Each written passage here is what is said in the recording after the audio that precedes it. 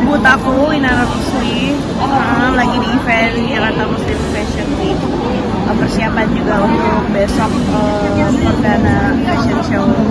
Iya ada konsep semua dari aku. Korea Korea nih kan ada contohnya nih yang aku pakai apa uh, obi. Uh, jadi uh, aku berusaha gimana caranya fashion Korea bisa dinikmati oleh kalau suka fashion memang dari dulu ya. Bahkan dari kecil emang udah demen banget SMS baju gitu. Tapi kalau untuk benar-benar terjun menjadi pelaku usaha fashion ya baru kali ini sih. Baru ini perdana karena emang kebetulan ada kesempatan. Memang dari dulu dari kecil dari aku usia 13 sudah hobi nonton drakor. Udah suka sama kayak fashion. Jadi ya ya sekarang ada timingnya untuk bisa mulai usaha ya kenapa enggak? Tantangannya adalah mengejar produksinya terus uh, apa ya uh, ya termasuk salah satu konsepin desain bajunya sendiri ya karena kan nggak uh, mudah ya dan kadang-kadang kita kepikiran juga ekspektasi uh, masyarakat takutnya nggak sesuai gitu nggak bisa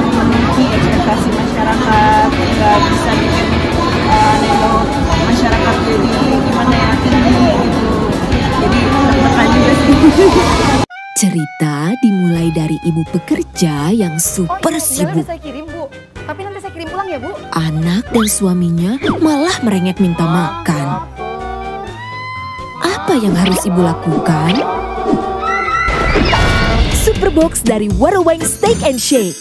Makan nikmat, praktis, ibu bisa rehat sejenak.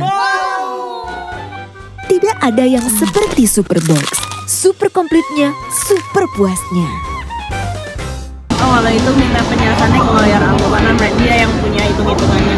Yang lebih tahu dari sisi nggak tahu kalau itu kan saya bukan pihak tujuan ya ini kan uh, alhamdulillah bisa memulai usaha juga kan karena dari kemarin dulu saya kerja sana sini saya kumpulin.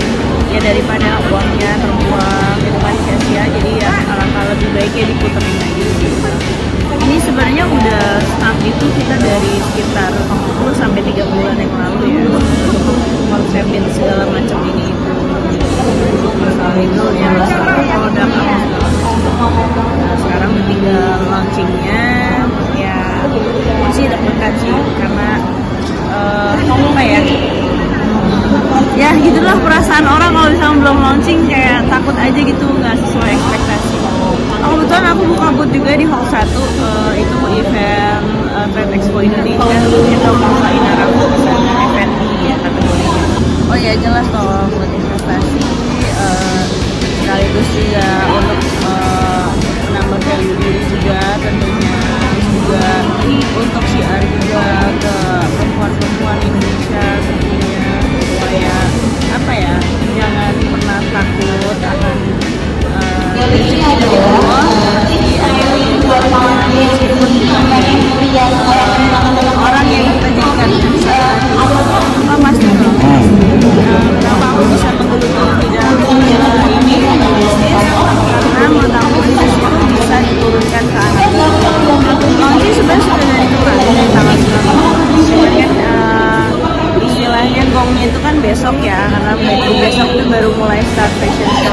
uh, pasti lah sedikit banyak pasti pengaruh. Cuman kan uh, jalan rezeki itu kan banyak ya nggak perlu hanya dari satu pintu.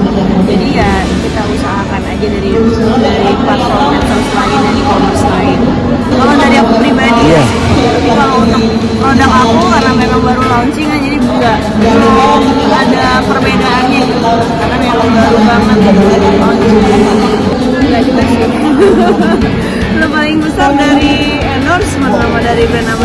uh, ngaruh lah.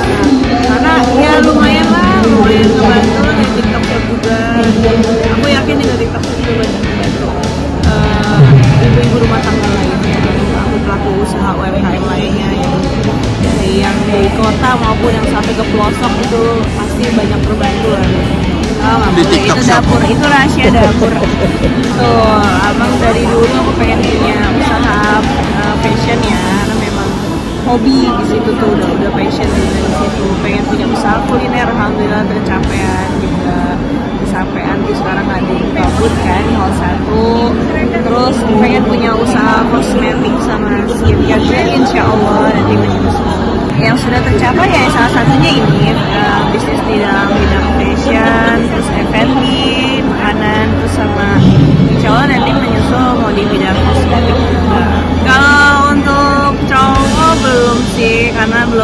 palu juga. Jadi terlalu prematur ya kalau untuk membahas pasangan karena belum ada keputusan